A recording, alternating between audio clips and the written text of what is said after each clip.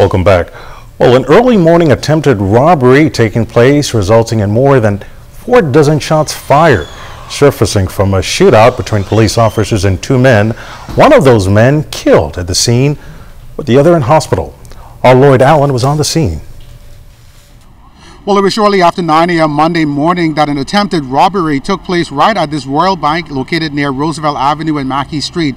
We have some information that there may be uh, some rings uh, operating. Chief Superintendent Solomon Cash says this latest incident may be part of an organized spree of robberies targeting unsuspecting persons or businesses. He says it was sometime before 9 a.m. that officers were tipped off about a planned robbery at the bank involving a black Acura. When they arrived, they approached two men in a car parked at the rear of the building. Uh, based on the intelligence of the officers, uh, they saw a vehicle fitting the profile as described in the information. Uh, the officers engaged that vehicle. Uh, as the officers engaged, uh, two persons emerged from the suspect vehicle. One armed man opened fire on the police.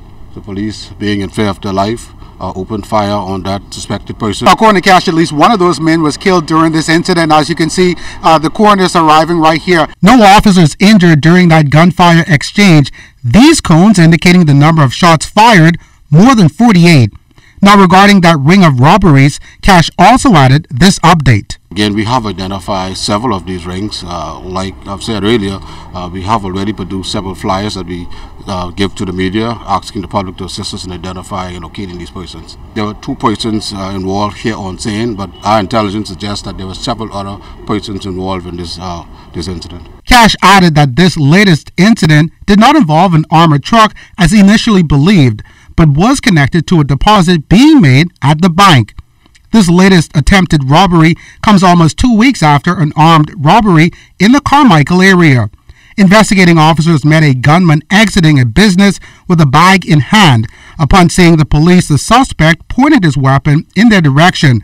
The gunman was shot in the process. It wasn't long after that he and his accomplice were taken down and taken into custody. Cash says as they continue to monitor similar crimes, the public must be cautious. That if they see the police engaging in any activities, uh, that we ask them to uh, remove themselves because who knows uh, uh when we deal with suspected person most of the time uh, in the process of them trying to uh, evade law enforcement they may just open fire to prevent us from capturing them lloyd allen ZNS Network News